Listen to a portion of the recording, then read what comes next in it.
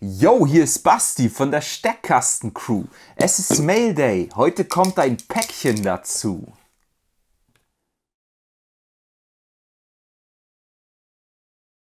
Ja, hallo liebe Leute. Herzlich willkommen im Vintage- und Retro-Lego-Kanal der Steckkasten-Crew deinem Lieblingsort für altes Lego und neues Lego mit retrospektiven Motiven.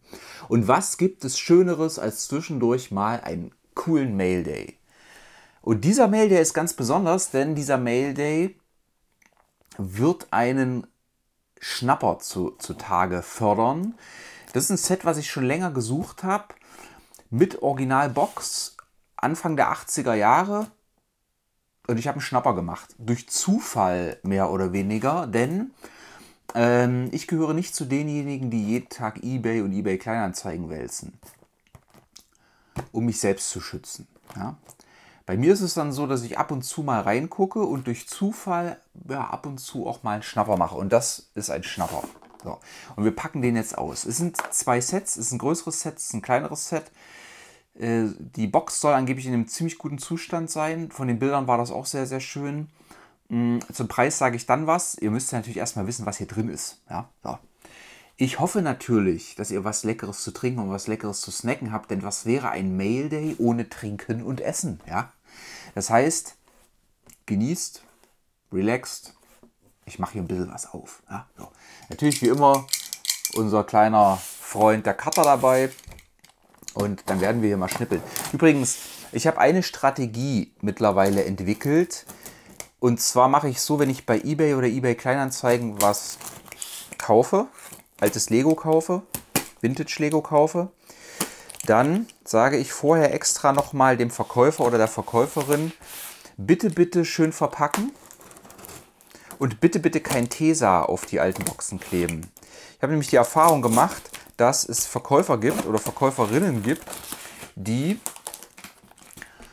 die alten Boxen mit Tesa bekleben, damit ja keine Steine rausfallen. Ich finde das tendenziell eher nicht so gut. Wenn man Glück hat, kann man den Tesafilm leicht abziehen. Ich hatte allerdings auch schon die ein oder andere Box dabei, da habe ich einfach mit dem Tesa auch ein bisschen Farbe von der Box abgezogen oder ein bisschen Oberfläche. Das ist ärgerlich.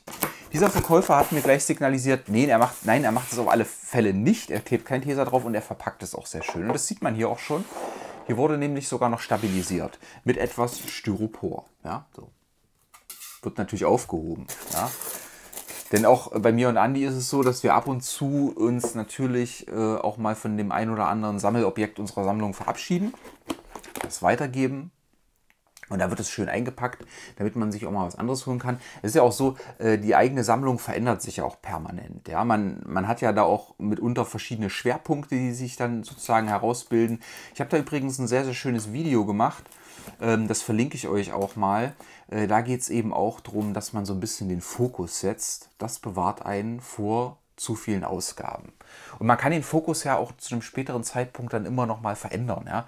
Alles zu sammeln ist definitiv eine Sache, die ähm, auf Dauer sehr kostenintensiv ist. So. Jetzt ziehe ich das mir. Oh, das ist auf alle Fälle eine Tüte. Das ist eine Tüte. Ja. So. Das tue ich mal zur Seite. Ich sehe nämlich tatsächlich auch schon den Karton von dem größeren Set. Und hier seht ihr schon den Karton von dem kleineren Set. Das hole ich jetzt mal raus. An sich sehr gut verpackt. Ich schiebe das gleich mal zur Seite. Das kleinere Set habe ich tatsächlich schon. Auch mit Box. Es war aber dabei. Das ist nämlich die 6654. Das ist dieser kleine äh, LKW, könnte man sagen, mit Anhänger und Motorrad. Und äh, wie gesagt, das habe ich schon, aber das war jetzt halt dabei. Das heißt, das wird auch wieder veräußert. Oh, hier ist auch eine kleine Obstfliege noch mit drin. Die hat die Reise nicht so gut überlebt. Und hier sind Einzelteile drin. Ach, hier, guck mal, hier ist sogar noch die Scheibe mit dran. Das ist auch seltener. Die bricht gerne mal weg. Anleitung ist hier drin. Teile sind hier einzeln drin. Das ist übrigens auch ein Grund, ich filme da mal kurz rein. Das ist auch ein Grund, warum viele Verkäufer und Verkäuferinnen da noch einen Tesafilm drum machen, weil die haben Angst, dass es rausfällt. Tut das doch einfach in so eine kleine Plastik, Plastiktüte und schiebt das dann rein und dann kann das auch nicht rausfallen. Das ist aber eine Box, die in einem ziemlich guten Zustand ist. Ich muss dann mal gucken. Die Box, die ich schon habe, ist glaube ich auch in einem ziemlich guten Zustand.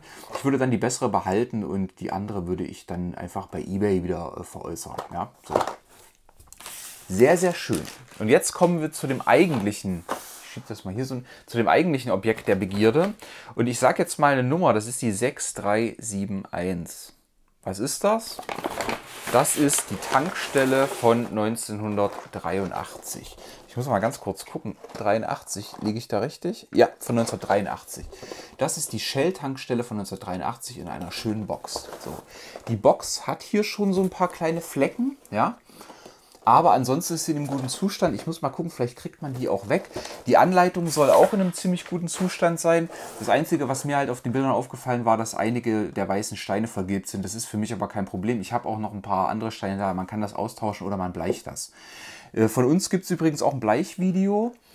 Ähm, das kommt demnächst. Wenn ihr allerdings zu einem späteren Zeitpunkt das Video schaut, könnte es sein, dass das Bleichvideo äh, schon online ist. Das heißt, navigiert euch unbedingt durch unsere anderen Playlisten durch. Da sind so viele coole Videos.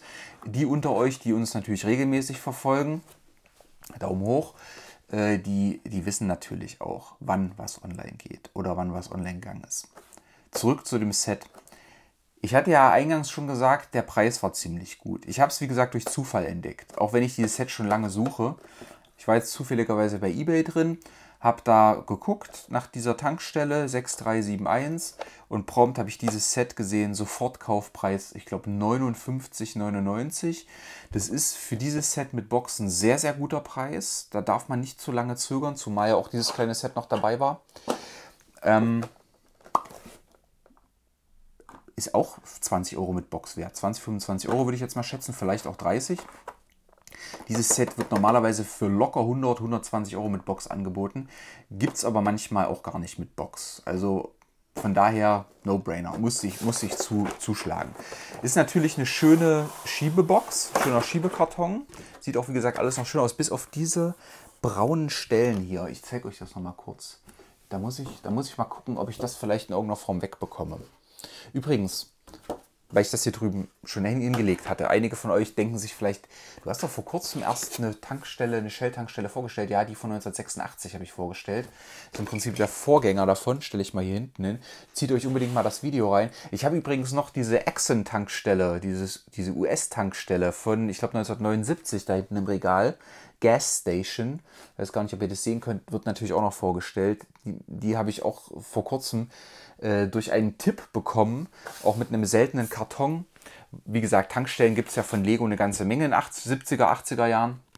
Aber die hatte ich halt noch nicht. So, und jetzt packen wir mal aus. Hier ist eine Grundplatte dabei. Ja, die ist auch in einem ziemlich guten Zustand. Die ist auch tatsächlich überhaupt nicht vergilbt. Das ist auch die Originalplatte. Ja, müsste ich mal gucken. Ich glaube, die ist sogar exklusiv von dem Set, muss ich aber noch mal schauen. Äh, bei den Tankstellen waren ja immer ein bisschen andere Grundplatten dabei. Ihr seht das ja auch, die unterscheidet sich so ein bisschen. Und die Anleitung ist hier. Die Anleitung ist auch in einem ziemlich guten Zustand. Also das Set ohne Box, nur mit der Anleitung für 59 Euro wäre schon in Ordnung. Also könnte man so machen. Ähm, ich gucke mal kurz rein. Die Klammerung, das funktioniert auch alles noch. Super. Ach, hör auf. das Set ist nach neun Bauschritten fertig. Es sind jetzt auch nicht so mordsmäßig viele Teile, könnt ihr das sehen? Ja, es sind nicht so mordsmäßig viele Teile, aber das ist trotzdem der Knaller. So, und hier sieht man schon, auch ganz gut eingepackt, hier mit so ein bisschen Styropor, Fuselage nenne ich das jetzt mal. Und hier sieht man schon, das ist ein bisschen vergilbt, oben die weißen Teile. Ich weiß nicht, ob das hier die Studiobeleuchtung gut einfängt, aber die sind schon ganz schön vergilbt. Ist übrigens auch Technik-Bricks mit drunter, ist auch sehr, sehr schön. Aber wie gesagt, die Platten hier oben werden gesäubert, werden gegebenenfalls geblichen, äh, gebleicht, äh, geblichen, gebleicht oder eben ausgetauscht. Das ist überhaupt gar kein Thema. So. Hier ist auch ein Motorrad dabei und hier ist auch die Scheibe dabei. Wie gesagt, auch keine Selbstverständlichkeit. Hier das Service-Auto, das ist in einem erstaunlich hellen Weiß. Das ist kaum verblichen. Ja. Sieht ziemlich gut aus. Und wie gesagt, viele Einzelteile. Die Hebebühne ist auch ultra gut. Die ist nämlich aus solchen Hinge-Plates und Plates irgendwie zusammengefriemelt. Da kann man dann das Auto reinstellen und es ist wirklich es ist grandios. Also diese Tankstelle ist wirklich grandios. Es gibt auch bestickerte Teile, ja, hier oben. Äh, aber es gibt auch bedruckte Teile. Ja, Und wie gesagt, das muss ich jetzt hier mal durchgucken, ob da alles dabei ist. Wenn ich mich richtig erinnere, hat der Verkäufer geschrieben, dass noch eine Schaufel fehlt oder ein, ein Schraubenschlüssel. Sollte aber auch kein Problem sein. Ja, liebe Freunde, ich mache mir jetzt ein Käffchen. Ich werde jetzt hier gucken, dass ich das schön sortiert bekomme, dass es wieder vollständig ist, wenn wirklich was fehlt. Und dann gibt es natürlich demnächst auch ein Review bei uns im Kanal. Die Zeit könnt ihr euch bis dahin noch vertreiben, indem ihr noch das ein oder andere Video schaut. Äh, ich kann euch das wirklich nur empfehlen. Ich verlinke euch auch mal die Stadt-Playlist. Wie gesagt, wenn ihr das noch nicht gesehen habt, zieht es euch rein. Das große Parkhaus, ja, eines der besten Lego-Stadtsets aller Zeiten, habe ich auch schon gereviewt. Und äh, viele andere Sachen. Zieht es euch rein und bleibt entspannt, bleibt auf Empfang. Wir sehen uns schon sehr bald wieder. Bis dahin. Bye bye.